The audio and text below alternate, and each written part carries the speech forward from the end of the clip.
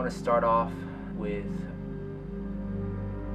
making a declaration to all of those who benefit and all of those who are perpetrators of this organized harassment against targeted individuals. All perpetrators of organized harassment are in violation of United States Code 241, Title 18, Conspiracy Against Rights of Targeted Individuals. If two or more persons conspire to injure, oppress, threaten, or intimidate any person in any state, territory, commonwealth, possession, or district in the free exercise or enjoyment of any right or privilege secured to him or her by the Constitution or laws of the United States, or because of his having so exercised the same, or if two or more persons go in disguise on the highway or on the premises of another with intent to prevent or hinder his free exercise or enjoyment of any right or privilege so secured, they shall be fined under this title or imprisoned not more than 10 years or both. And if death results from the acts committed, or if such acts include kidnapping or an attempt to kidnap, aggravated sexual abuse, or any attempt to commit aggravated sexual abuse, or an attempt to kill, they shall be fined under this title or imprisoned for any term of years or for life, or both, or may be sentenced to death.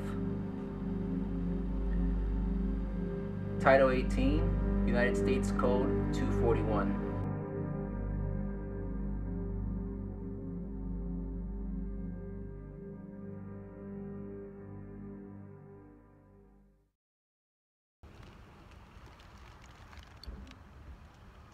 How you doing, officer?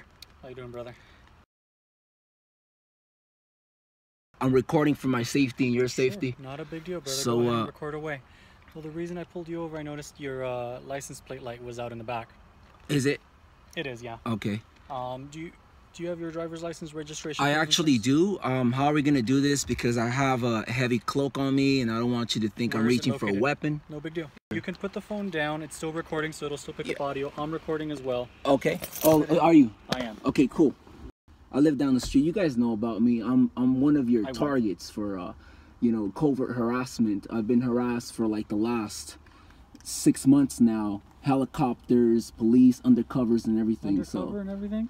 Yeah, I want to go see one of my other friends who is also a targeted individual. So yeah. Well, listen, You know, we don't, we uh, don't target for any reason. We're just out here. Well, you know, the thing is, it's one thing to investigate someone, it's another thing to harass them, you know? Where you have neighbors participating in this nonsense, this noise campaign, and all these crazy things. Anyways, I don't want to get into that. I'll, I'll talk to the FBI about that. I already Cool. You do that addressed them, so. Yeah. I mean, you guys should know about me. I was actually thinking about coming in today Mhm. uh, and talking to you guys about you know all this nonsense that's been going on in my in my cul-de-sac where one of my neighbors is actually a police officer from San Bernardino and he's involved in this harassment and you would think that the government is there to protect us but yet you guys are violating the, the eighth amendment you know and uh, subjecting us to extrajudicial punishment Such as what? such as covert harassment, you know? You got FBI, DHS aircraft flying overhead. Look, like I said, it's one thing to investigate me, and it's another thing to harass me.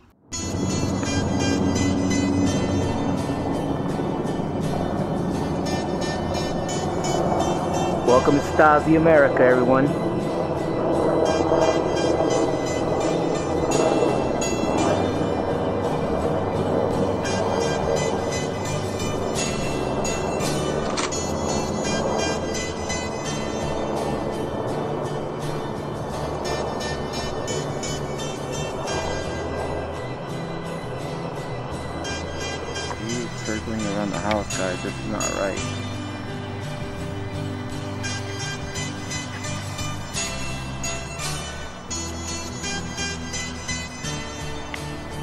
Not air stalking, I don't know what is, guys.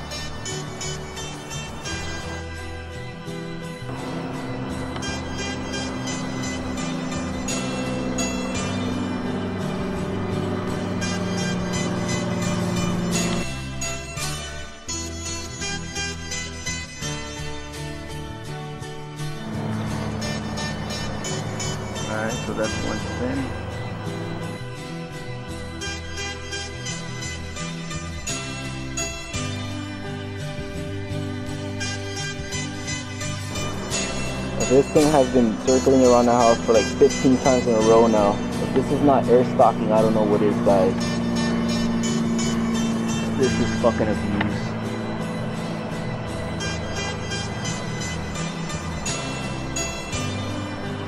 Wasting our tax money on bullshit.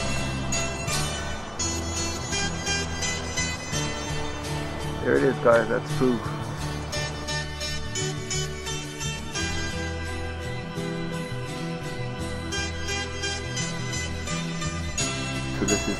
In a row, guys. Letting you know people are circling, wasting our fucking tax dollars on bullshit. They want to say they want to keep us safe and all that BS. But in reality, they're harassing innocent people.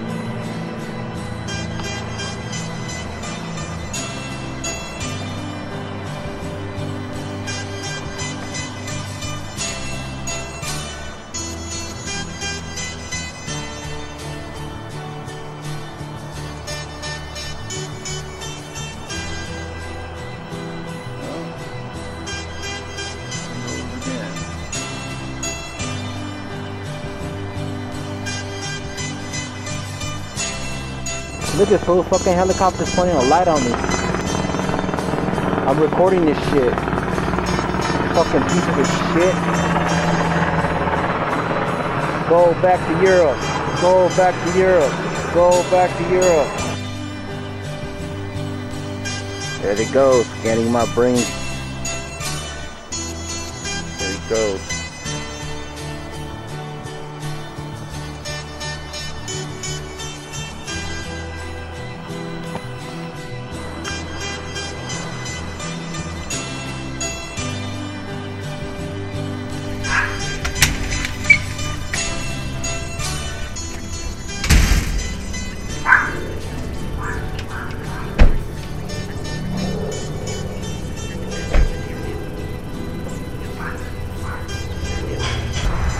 I'm over here enjoying myself up in this beautiful park.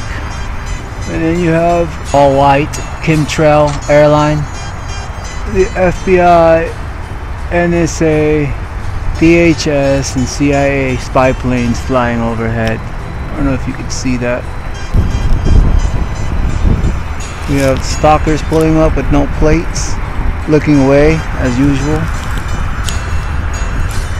We have uh, the uh, dog walker over there. Man, this country's going to shit, bro. Real talk, man. You got Stasi police officers everywhere, undercovers, Around there? DHS, FBI, spy planes, everywhere you go, bro.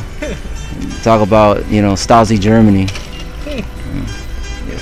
I feel bad for the future generations.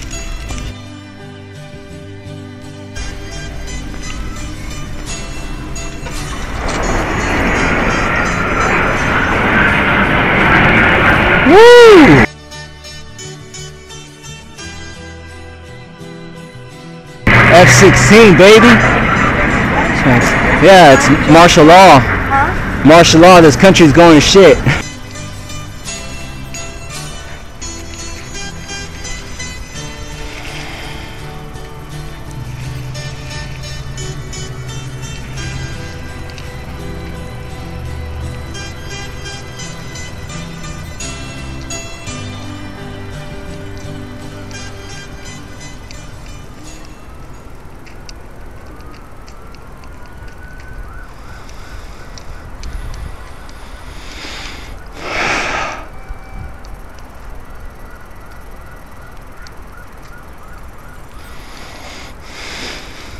So, holy.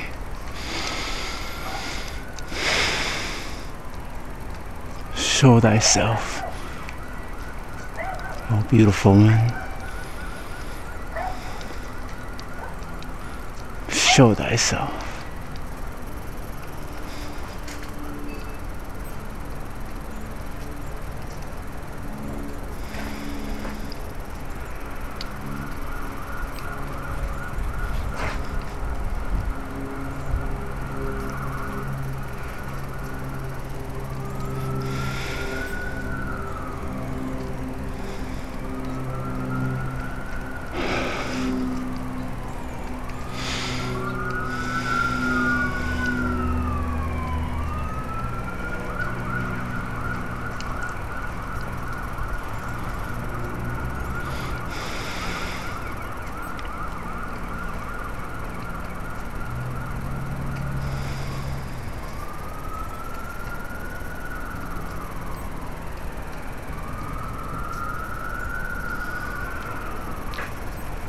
Cold. I thought you were just another, you know, gang stalker hitting me with their high beams. I, I'm being hit with noise campaigns and, and all these different, you know, covert tactics to get me to go crazy. You know, Why, why would you go crazy? crazy in the sense that you know you're being subject to MK Ultra mind control tactics. I'm Christine deNicola, born July of 1962, rendering me 32 years of age. I was a subject in radiation as well as mind control and drug experiments performed by a man I knew as Dr. Green. My parents were divorced around 1966 and Donald Richard Ebner, my natural father, was involved with Dr. Green in the experiments. I was a subject from 1966 to 1976. Dr. Green performed radiation experiments on me in 1970, focusing on my neck, throat, and chest, 1972 focusing on my chest and my uterus in 1975. Each time I became dizzy, nauseous, and threw up. All these experiments were performed on me in conjunction with mind control techniques and drugs in Tucson, Arizona. Dr. Green was using me mostly as a mind control subject from 1966 to 1973. His objective was to gain control of my mind and train me to be a spy assassin. The first significant memory took place at Kansas City University in 1966. Don Ebner took me there by plane when my mom was out of town. I was in what looked like a laboratory and there seemed to be other children. I was strapped down, naked, spread eagle, on a table, on my back. Dr. Green had electrodes on my body, including my head. He used what looked like an overhead projector and repeatedly said he was burning different images into my brain while a red light flashed aimed at my forehead. In between each sequence, he used electric shock on my body and told me to go deeper and deeper, deeper, while repeating each image would go deeper into my brain, and I would do whatever he told me to do. I felt drugged because he had given me a shot before he started the procedure. When it was over, he gave me another shot. The next thing I remember, I was with my grandparents again in Tucson, Arizona. I was four years old.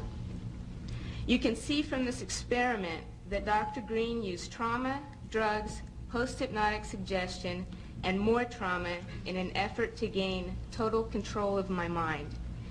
He used me in radiation experiments both for the purposes of determining the effects of radiation on various parts of my body and to terrorize me as an additional trauma in the mind control experiments. The rest of the experiments took place in Tucson, Arizona, out in the desert. I was taught how to pick locks, be secretive, use my photographic memory, and a technique to withhold information by repeating numbers to myself. Dr. Green moved on to wanting me to kill dolls that look like real children.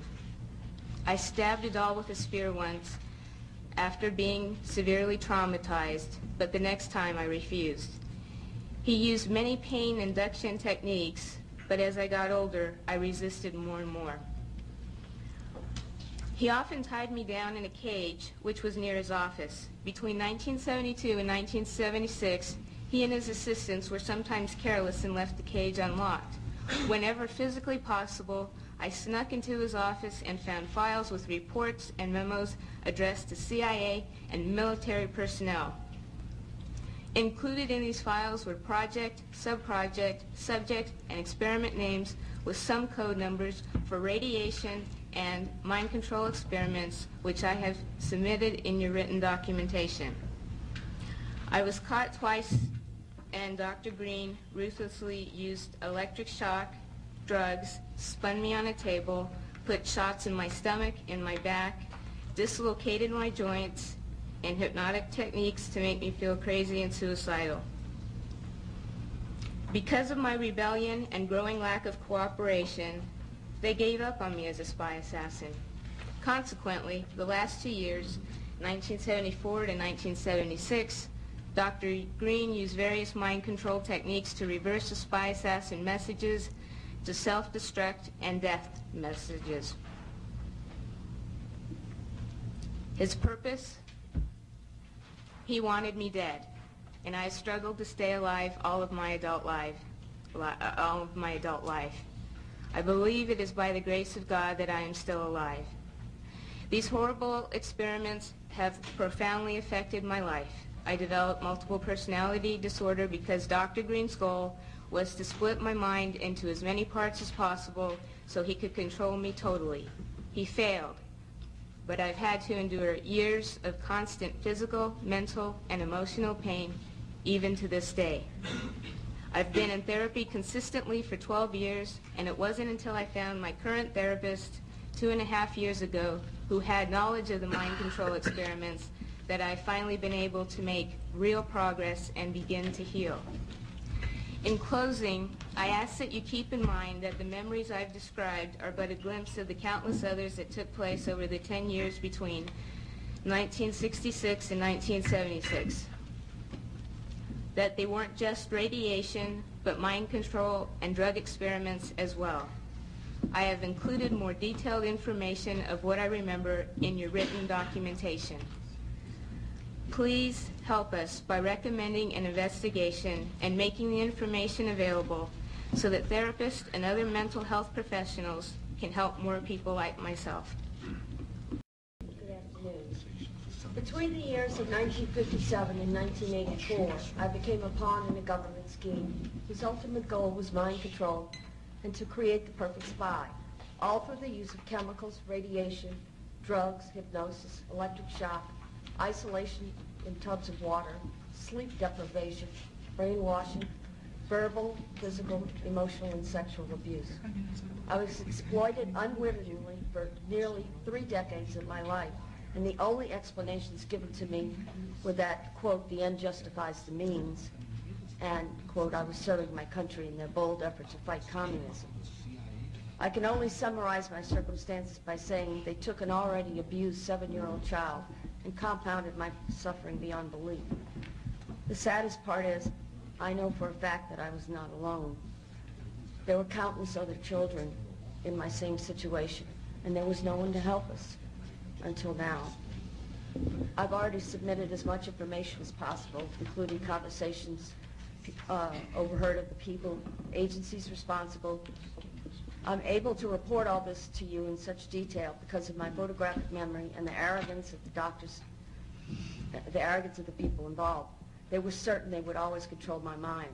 Although the process of recalling these atrocities is not an easy one, nor is it without some danger to myself and my family, I feel the risk is worth taking.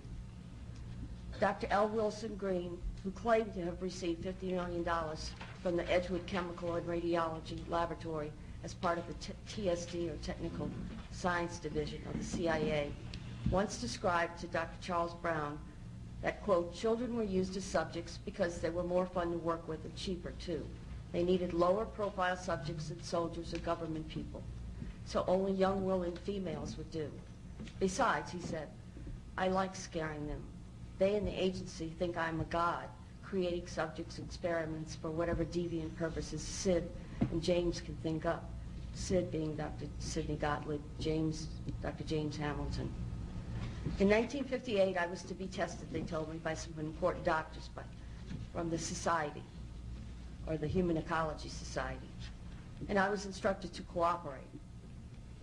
I was told not to look at anyone's faces and not try hard not to ignore to try hard not to ignore any names, as this was a very secret project.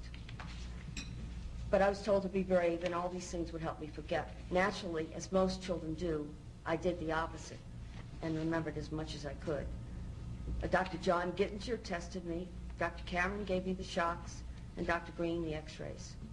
Then I was told by Sid Gottlieb that, quote, I was right for the big A, or meaning artichoke.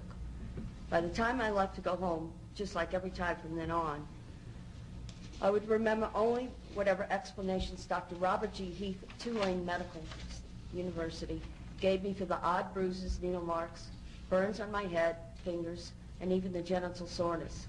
I had no reason to believe otherwise. They had already begun to control my mind. The next year, I was sent to a lodge in Maryland called Deep Creek Cabins to learn how to sexually please men.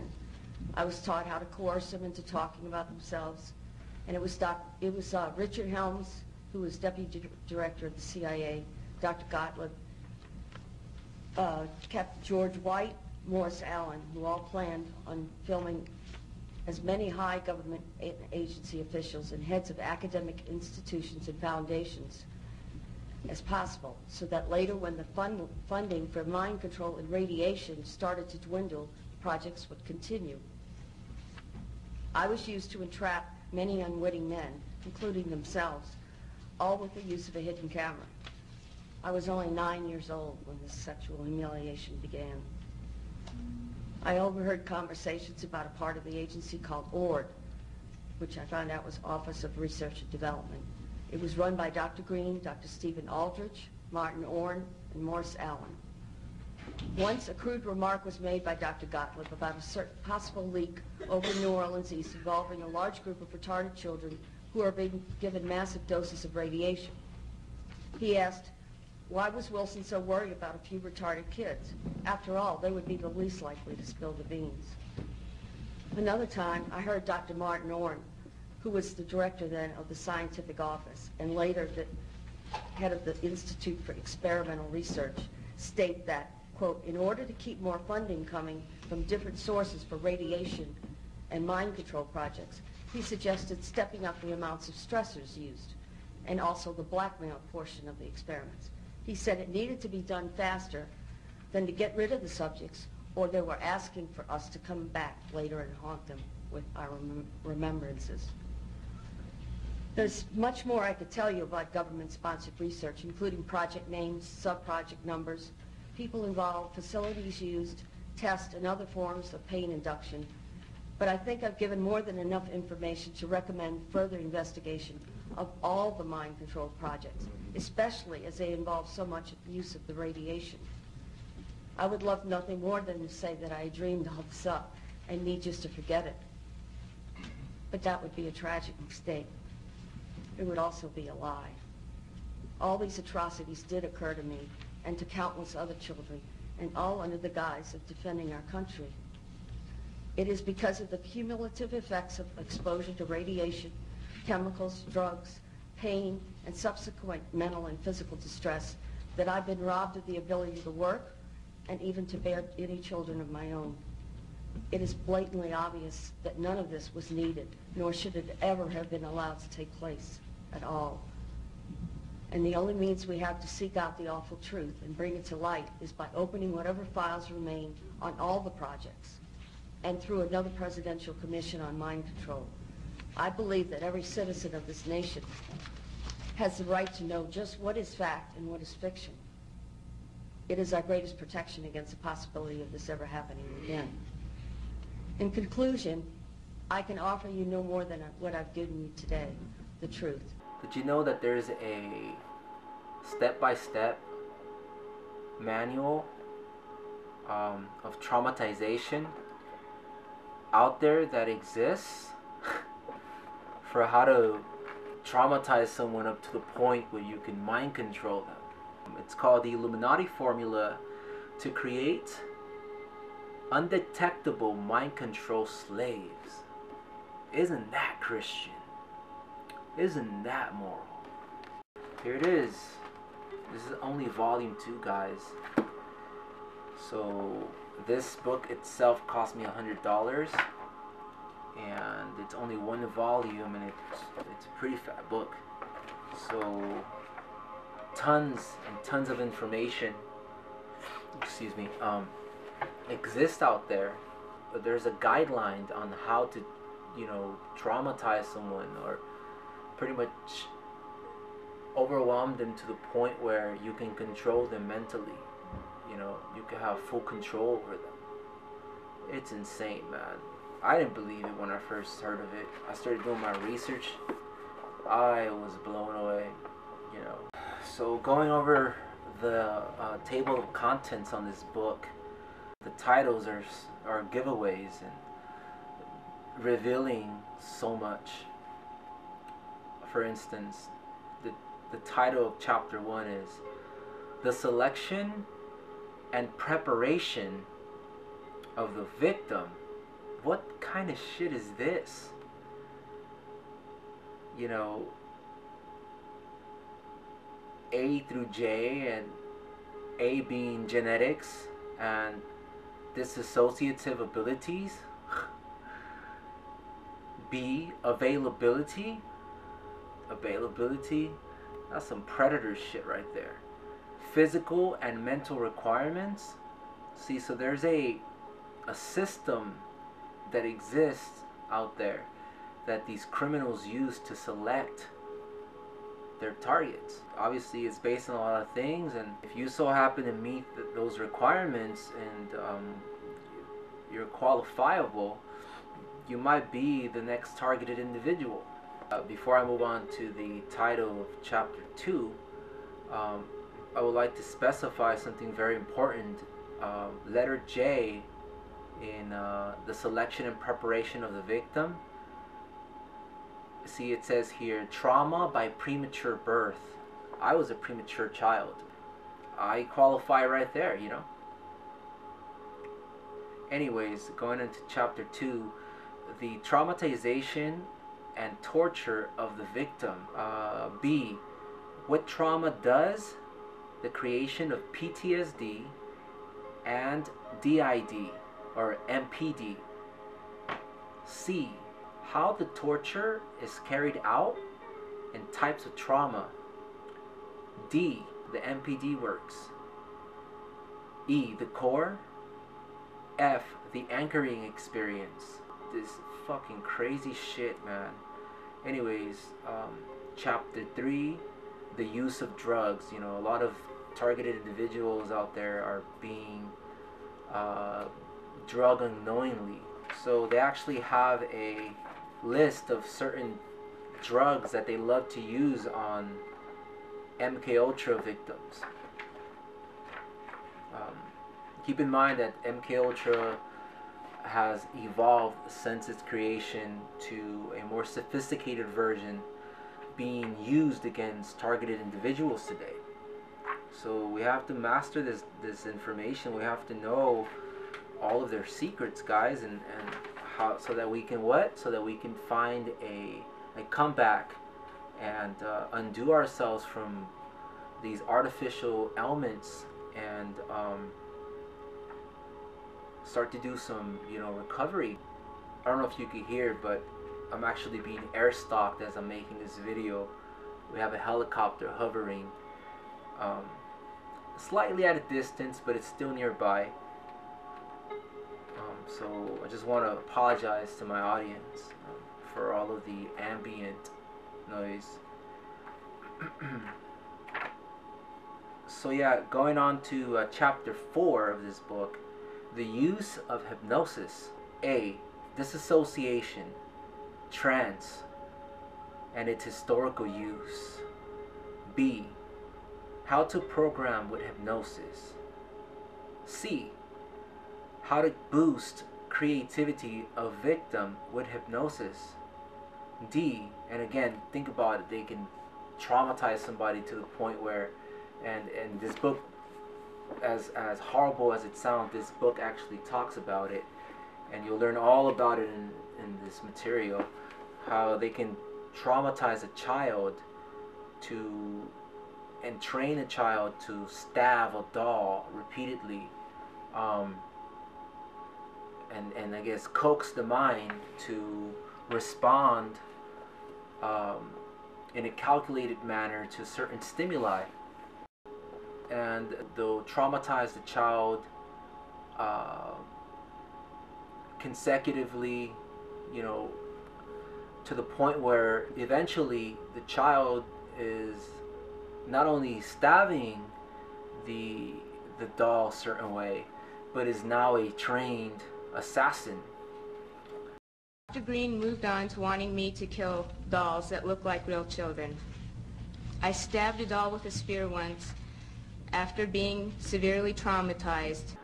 And what they'll do oftentimes is um, they'll repeat the same scenario, cause the child to be triggered, and the child goes out, but instead of it being, you know, a doll, it's an actual child.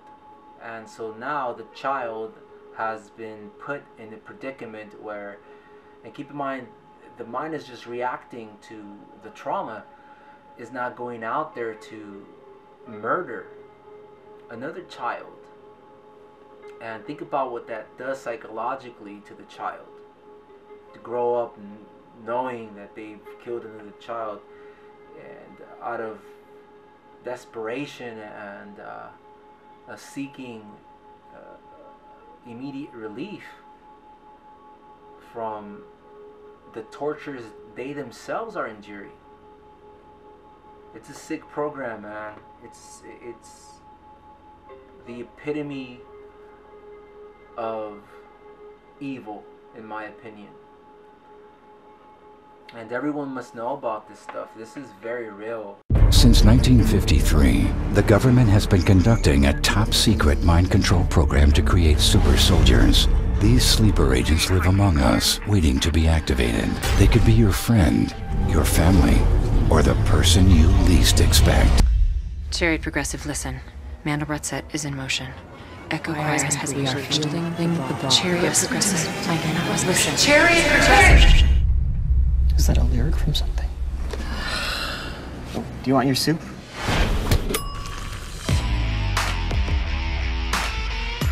Hey, stop stop doing stuff to my car. Hey, babes, what's up? Hey, I just killed two people. That's awesome. No, they had guns and knives and they were being like total dicks. Ah! I took a spoon and I just like, mm, I like shoved it through this guy. Agent Hal has been activated. He killed two operatives with a spoon. A spoon? What? Lock it down. We go in and we take him out. What if I'm like a robot? How do you feel? I feel kind of amazing. Like for instance, ever hear about those TIs that go out there and, and do mass shootings, uh, or committing or end up committing suicide or or do something out of their character. November 20th, 2014. It's a day many will never forget in Tallahassee and beyond. What started out as a night of studying in a college library turned to tragedy because of one man, Myron May. May believed he was a victim of gang stalking. Well, tonight you'll hear from May in his own chilling words, pleading for anyone to understand him as we examine just what is gang stalking. Kind of my last words. Um, it's really unfortunate that I have to make this video. You see, I am a victim of covert harassment uh, and electronic harassment and gang stalking. Um, I'm what's called a targeted individual. On November 20th, 2014, 31 year old Myron May walks into Strozier Library on the campus of Florida State University and opens fire. Three people are injured. May tries to leave campus, and a shootout with police in front of the library ends violently. The medical examiner confirming May was shot 24 times by police. Uh, the goal of gang stalking is literally uh, to drive a targeted individual crazy. They employ isolation tactics. Um, they basically try to convince your family, your friends, your neighbors, your coworkers uh, that they should be keeping an eye on you. A constant bout of noise that is never ending is designed to keep the targeted individual on edge. I am totally not crazy. I'm, I'm completely sane, but they've employed these tactics against me as well to try to make me appear uh, to be a crazy person. Yeah, guys, they're being subject to the same uh, psychological warfare techniques found in this material that um, is responsible for a lot of these created events. Um, sadly, by the FBI and CIA themselves. We of the FBI feel that we're a part of a team to make America a great and decent place in which to live. There's um so much in here. Uh, there's a, even I think chapter seven or chapter six is dedicated to electricity and uh, the implementation of electronics, um, manipulation, um, mind manipulation by psychological programming methods, behavioral modification, psychological motivation. It's insane, guys. Spiritual control techniques, possession and trances. You remember that guy at uh, the Aurora uh, Edwards Theater massacre in uh, I think it was in Colorado, uh, who thought he was um, the Joker. He was I think he even had painted his his hair orange, and um, you know the guy was in a trance. He was possessed, you know, by a demon. Call it what you will. The typically you have a right to be advised of the charges. You have a right to be advised of the charges. The duty judge has made a preliminary determination of probable cause to believe you're committed the offense of first degree murder, which is a class one felony under Colorado law. Thank you. Judge, uh, we tendered to the prosecution this morning uh, defense motions five and six, which are notice of invocation of all statutory and constitutional rights and privileges and revocation of any and all previously given waivers or privileges. And uh, motion six, motion to allow confidential defense experts to be present for scientific testing of evidence. Um, with regard to, to pleading five, uh, we're just asserting all of Mr. Holmes' constitutional rights, and this is just a notice of that. Uh, with regard to the any scientific testing, I think that uh, we're not really at that stage yet, but we are filing this in abundance of caution if I can approach the bench. You might. Keep in mind that this guy's father was, um, I believe he was in the military uh, or had government ties of some kind. But yeah, when you see this guy in court, you can tell he's been drugged and he's in a trance and he has no idea what the fuck is happening. That's MK Ultra for you guys. This is how this stuff works. This stuff is very real and um, it's time for us to become fully aware of the serious crime and violation of human rights. Thousands of government sponsored experiments did take place at hospitals, universities, and military bases around our nation. The goal was to understand the effects of radiation exposure on the human body. While most of the tests were ethical by any standards, some were unethical, not only by today's standards, but by the standards of the time in which they were conducted. They failed both the test of our national values and the test of humanity. Informed consent means your doctor tells you the risk of the treatment you are about to undergo. In too many cases, informed consent was withheld. Americans were kept in the dark about the effects of what was being done to them. The deception extended beyond the test subjects themselves to encompass their families and the American people as a whole. For these experiments were kept secret, and they were shrouded not for a compelling reason of national security, but for the simple fear of embarrassment. And that was wrong.